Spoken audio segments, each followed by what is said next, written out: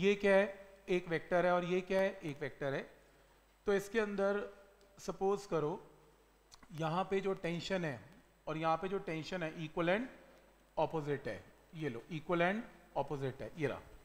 ठीक है? तो यहाँ पर टेंशन टी है, यहाँ पर टेंशन टी है T and T last time discuss किया तो यहाँ पर वेट क्या है? 15 जी है। यहाँ पर वेट क्या है? फाइव जी है। ठीक है यहाँ तक? क्योंकि 15 के जी बड़ा है और 5 के जी छोटा है। तो डायग्राम ऐसा बनेगा, ये नीचे आएगा और ये ऊपर जाएगा। नेक्स्ट है इसमें।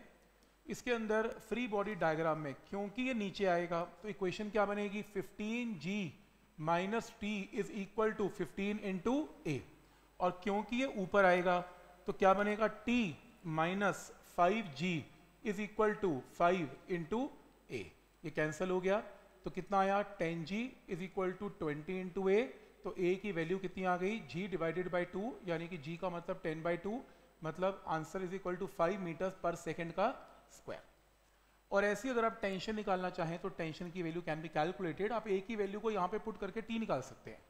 ऐसा हमने लास्ट टाइम किया। अब हम क्या करने वाले हैं इसमें? इस एग्ज़ाम्पल के बाद पुली की एग्ज़ाम्पल के बाद थ्रस्ट ऑन पुली इसको एक बार डिस्कस करते हैं, ये थ्रस्ट ऑन पुली क्या होता है?